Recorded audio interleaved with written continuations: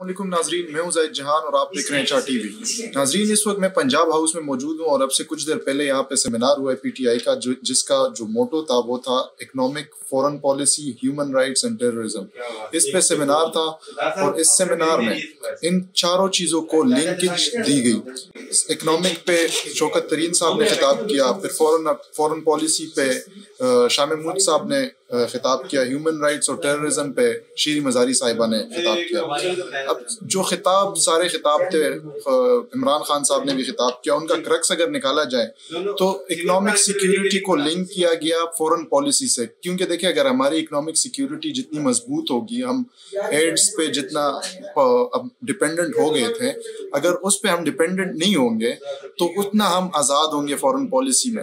अब हमने इमरान खान ने बताया कि हमारी गलती कहाँ पे हुई? जब हम एड्स पे डिपेंडेंट होना शुरू हुए तो हमारी फॉरेन पॉलिसी भी डिपेंडेंट हो गई बाहर के ममालिक पे, वो इन्फ्लुएंस हो गई बाहर के ममालिक की वजह से। फिर उन्होंने कहा कि पाकिस्तान में हमने पहली दफ़ा नेशनल सिक्योरिटी पॉलिसी लेके आए हम, और इकोनॉमिक सिक्योरिटी को हमने उस पर फोकस किया कि हमने इकोनॉमिकली अपने आप को सिक्योर करना है ताकि हमें फ्यूचर हमें मिल सके। फिर आज एक और बात हुई है जो लीक्स आई है। इमरान खान की ऑडियो भी बिल आखिर लीक हुई है साइफर के मुतालिक वो अपने प्रिंसिपल सेक्रेटरी आज़म खान के साथ कुछ बात कर रहे थे। तो इस पे इमरान खान ने उस स्पीच में ये कहा कि साइफर को पब्लिक किया जाए। अब साइफर को पब्लिक करना इतना आसान नहीं है, क्योंकि वो, देखें, उसमें कुछ कोड्स डिकोड करने होते हैं और वो हमारे जो इंक्रिप्टेड टाइप के होते हैं मैसेजेस फॉर्मल टाइप के वो इसको ही साइफर कहते हैं। मैं आपको साइफर के बारे में आने वाला अगला वीडियो वो पूरा साइफर की हिस्ट्री बताऊँगा कि पाकिस्तान की साइफर की हिस्ट्री क्या है और क्या ये साइफर आया भी था और आया या, या आया नहीं था। अब शेरी मजारी ने आज के दिन ये भी कहा है कि साइफर नॉर्मली चार जगहों पे आता है। डीजीआईएसआई पाकिस्तान के आर्मी चीफ को आता है प्राइम मिनिस्टर ऑफ़िस को आता है और फॉरेन ऑफ़िस को आता है।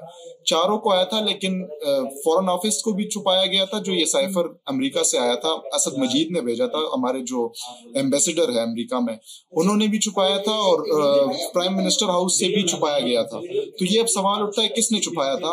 अगर तो ये साइफर झूठ है, झूठ पे मबनी है तो आप साइफर को खोले, उस पर आजादाना तहकीकात करें, उस पर सुप्रीम कोर्ट में आप जज जज बिठाए, ओपन हेयरिंग हो, ताकि अवाम के सामने इमरान खान की और जो पीटीआई की असलियत है वो आ जाए, ताकि इदारों के खिलाफ जो एक बयानिया बना हो बना हुआ है इस वक्त, ये खत्म हो जाए, ये दफन हो जाए।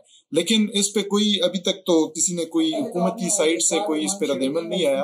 उम्मीद करते हैं जब हुकूमत की साइड से रदमल आएगा, इस पे तो आगे की कोई हम लायमल तय करेंगे और आपको सामने सब कुछ रखेंगे। अब साइफर की जो हकीकत है और साइफर की जितनी भी हमारे पास तारीख है वो सब आपके सामने अगली वीडियो में रखूँगा। मैंने इस पर रिसर्च किया हुआ है चूँकि मैं यहाँ पे हूँ पंजाब हाउस में। मैं अपने स्टूडियो जाके वहाँ से मैं अपने जो रिसर्च किया हुआ है वहाँ आपके सामने रखूँगा। उम्मीद है आज की वीडियो में आपको इस सेमिनार का क्रक्स मिल गया होगा। शुक्रिया।